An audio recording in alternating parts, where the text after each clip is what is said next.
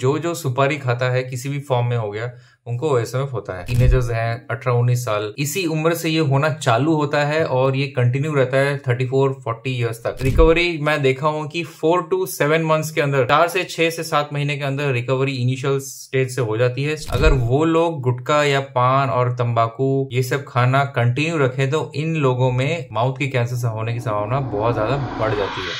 Hey guys welcome back to the channel this is साइडेंटल blogs आज का video होगा कि ओएसएमएफ क्या रिवर्सिबल है? कभी ये किसी पेशेंट में रिवर्स होता हुआ पाया गया है, या फिर ओएसएमएफ हम कभी क्योर नहीं हो सकता। कौन से स्टेज में ये रिवर्सिबल है, इन सब चीज़ों के बारे में आज हम बात करेंगे। तो ओएसएमएफ का मतलब होता है ओरल सब म्यूकस फाइब्रोसिस जिसमें हमारे माउथ ओवरऑल जो है पूरी टाइट हो जाती है, हमारे माउथ ब्लैंचिंग हो जाती है। डब्ल्यू एच ओ जो वर्ल्ड हेल्थ ऑर्गेनाइजेशन है, उन्होंने ओएसएमएफ को एक प्री मेलिग्नेंट कंडीशन बताया है। मतलब कि जिन लोगों को ओएसएमएफ होता है, अगर वो लोग गुटखा या पान और तंबाकू ये सब खाना कंटिन्यू रखें तो इन लोगों में माउथ की कैंसर होने की संभावना बहुत ज़्यादा बढ़ जाती है। तो इसलिए इसको एक premalignant lesion and condition बोला जाता है। ओएसएमएफ के साथ और भी बहुत सारे लीजन जुड़ जाते हैं। जैसे कि हमारा हो गया, अगर ओएसएमएफ है तो उसके साथ लिकोप्लेकिया भी हो सकता है ओएसएमएफ के साथ और भी व्हाइट लीजन्स का अकरेंस हो सकता है। तो ओएसएमएफ किन लोगों को होता है? यूजुअली देखा गया है कि यंग इंडिविजुअल्स में ओएसएमएफ ज़्यादा होता है। यंग इंडिविजुअल्स मतलब जो टीनेजर्स हैं, अठारह उन्नीस साल, इसी उम्र से ये होना चालू होता है और ये कंटिन्यू रहता है थर्टी फोर फोर्टी ईयर्स तक। तो इसी फ़ेज़ के अंदर, इसी एज ग्रुप के अंदर ज़्यादा पाया जाता है, क्योंकि आजकल तो सिगरेट बहुत महँगी होगी एक cigarette I think twenty two या ट्वेंटी रुपीज़ की होती है।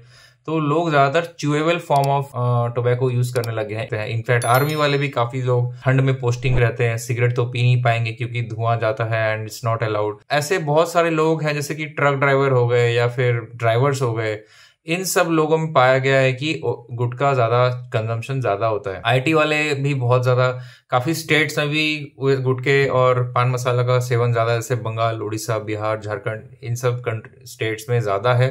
साउथ में भी है, लेकिन इन सब स्टेट्स में ज़्यादा है। ओएसएमएफ पूरे वर्ल्ड में ही पाया गया कि जो जो सुपारी खाता है, किसी भी फॉर्म में हो गया, उनको ओएसएमएफ होता है। अब इसमें होता है क्या है कि हमारी माउथ पूरी टाइट हो जाती है, खुल नहीं पाती है। इसके चार ग्रेड होते हैं grade one grade two grade three grade four grade four में माउथ टोटली क्लोज हो जाता है। ग्रेड थ्री में थोड़ा उससे ज़्यादा रहता है। ग्रेड वन होता है इनिशियल साइंस एंड सिम्टम्स अब इनिशियल साइंस एंड सिम्टम्स क्या होते हैं ओएसएमएफ की? ओएसएमएफ कभी भी पेशेंट को खुद से पता नहीं चलेगा कि उसको ओएसएमएफ है। उसको खाली दिखेगा व्हाइट लीजन होता है और बार बार उनको प्रॉब्लम होती है तीखा खाने में। कोई भी तीखा खाना नहीं खा पाता है पेशेंट और काफ़ी ज़्यादा जलन हो, जलन आँख से पानी भी निकल जाता है लोग। तीखा खाने में सबसे ज़्यादा प्रॉब्लम होती है ओएसएमएफ पेशेंट्स को। दूसरी प्रॉब्लम क्या होती है? अगर ओएसएमएफ ज़्यादा दिन तक रह जाए और पेशेंट जो है गुटखा, तंबाकू ये सब बंद ना करे। ओएसएमएफ में क्या होता है? स्टेज टू में चला जाता है। स्टेज टू में क्या होता है? हमारी जो चमड़ी होती है गालों की दोनों साइड की, बहुत टाइट होने लगती है। गले में टाइटनेस आती है टॉन्सिल्स में टाइटनेस आती है, सारे एरिया में माउथ के अंदर व्हाइटनेस हो जाती है। टच करते हैं अपने हाथों से या फिंगर से अंदर वाले एरिया को तो काफ़ी ड्राई लेदरी और बैंड्स पता चलते हैं। ये हो गया स्टेज टू स्टेज थ्री में माउथ और ज़्यादा छोटा हो जाता है, जिसमें mouth fifteen to twenty M he open होता है।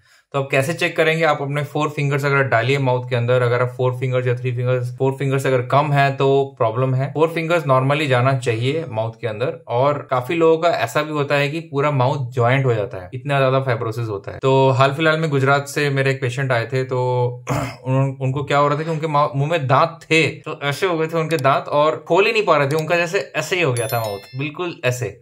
तो उनके दांत भी हिल रहे थे तो मुझे उनके दांत निकालने पड़े ताकि वो कुछ खाना खा पाए, क्योंकि बहुत पतले हो गए थे वो बिना कुछ खाए।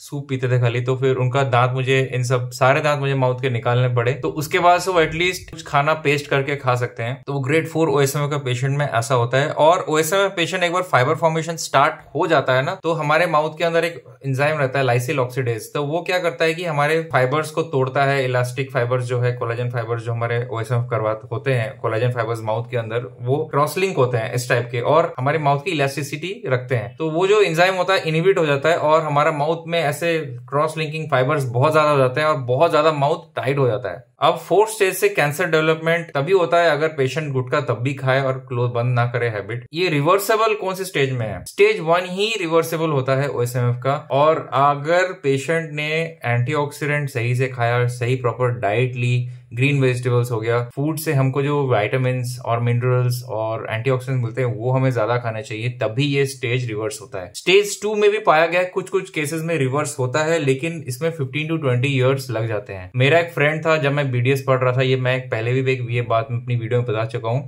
आया था मेरे से ट्रीटमेंट पर्पज के लिए अपोलो चेन्नई तब मैं बालाजी डेंटल कॉलेज में बीडीएस कर रहा था। तो वो आया मेरे पास और बोला कि, यार, मेरा मुँह नहीं खुलता, जलन होता। मैं थर्ड ईयर में था तो मैंने देखा कि उसको ओएसएमएफ है तो मैंने बोला कि गुटका खाना बंद कर दे, ठीक हो जाएगा। आउट ऑफ़ इंडिया चला गया यूएस चला गया तो बहुत सालों बाद वो आया मेरे पास दोबारा। तो मैंने उसका देखा कि बिल्कुल ठीक हो गया है बिकॉज़ उसने बिल्कुल भी छोड़ दिया था गुटका वुटका खाना। देखिए, ये स्टेज टू था जब मैंने उसको देखा था, क्योंकि एक बार डेंटिस्ट माउथ में देख लेता है तो वो भूलता नहीं कि क्या क्या हुआ। ऊपर से आपका दोस्त को ऐसा है तो आप उसको एडवाइस करते हैं कि ये मत खाइए इतना सही है ये होता है। तो बहुत सालों बाद जब हमने, हम मिले तो हमने देखा कि वो पूरा रिकवर हो गया है उसका माउथ तो इन सब केसेस में अब जब स्टेज टू से रिकवर हो सकता है तो अगर आपको वेट करना पड़ेगा आजकल क्या हो गया लोग इमीडिएट रिज़ल्ट चाहिए। तो क्या होता है इमीडिएट रिज़ल्ट के लिए वो डॉक्टर्स के पास बार बार जाते हैं, और डॉक्टर्स भी पहले एंटीऑक्सीडेंट लिखते हैं। उसके बाद क्या करता है कि जब पेशेंट मानता नहीं है तो बात तो क्या करते हैं स्टेरॉइड लिख देते हैं, केनाकोट हो गया, टबोकोट उससे क्या होता है इमीडिएट रिलीफ तो मिल जाता है, लेकिन दोबारा रिबाउंड होकर आता है प्रॉब्लम जलन और ज़्यादा होती है। तो इसलिए मैं कभी भी स्टेरॉइड रिकमेंड नहीं करता पेशेंट को।